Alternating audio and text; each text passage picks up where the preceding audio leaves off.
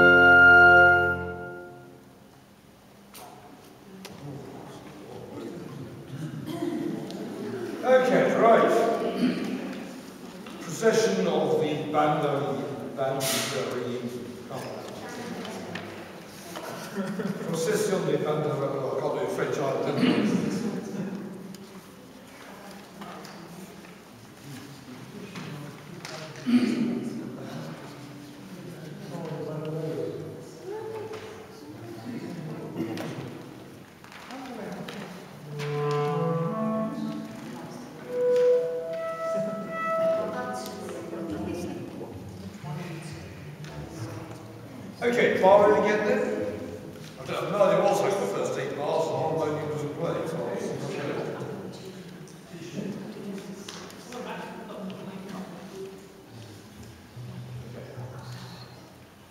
Okay,